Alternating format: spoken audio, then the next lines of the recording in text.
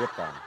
잘 안. 이거 왜 어렵나요? 씬, 씬 무조건 이건 누구나 좋아하는 사람과의 씬이 더 쉽지 않을까요? 나는 반대야. 난 좋아하고 하는 사람하고 하기 더 어려워. 그러니까 나도 그럴 것 같아. 그러니까 싫어하는 사람하고 하는 거는 궁금해.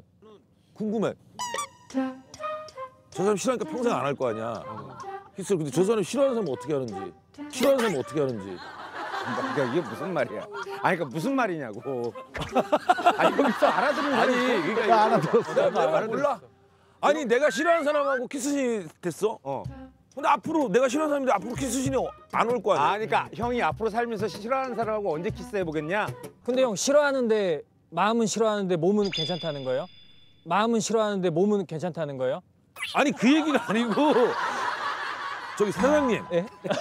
조금 이따 질문 자- 시간 드릴게요. 갑자기 발언해 주시면 저기 아니, 캠핑장 이거 빌려줬다고 되게 들으시니까 아 형님 키스 얘기 나올까 봐 일어나서 이렇게 또 그게 아니고 내 얘기가 지금 잘못 전 잘못 전달된 거야. 그러니까 이거지. 근데 연기는 감정을 가져야 되는데? 맞 맞아요. 오 역시 근데 연기는 감정을 가져야 되는데? 맞 맞아요. 오 역시 야 역시 연기파 배우는 달라 야 이게 같은 배우거든요. 아 그게 아니라 잠깐만.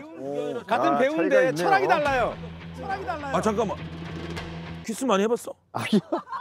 키스 많이 해봤어? 아니요. 네가 많이 해봤어? 내가 많이 해봤어? 아이고 유치하게 진짜.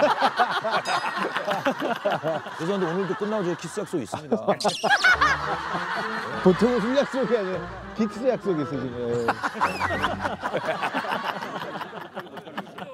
어떤 게 납니까 우리 민경훈 씨? 혹시 키스신 한번 해본 적 있나요? 어, 저도 해봤나? 어, 있어요. 뮤직비디오 할 때 해봤어요. 아 뮤비 할 때 옛날에? 옛날에?